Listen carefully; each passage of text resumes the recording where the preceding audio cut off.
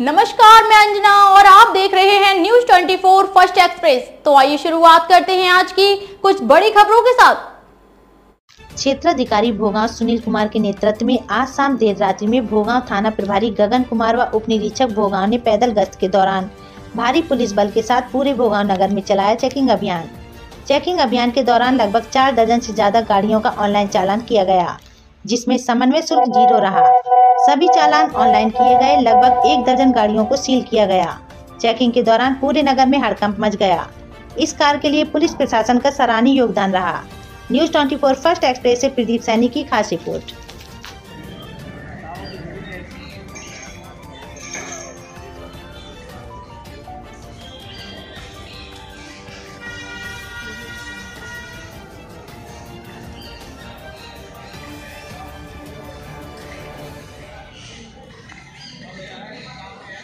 वक्त हो गया एक छोटे से ब्रेक का, फिर हाजिर होंगे ऐसे ही कुछ बड़ी खबरों के साथ।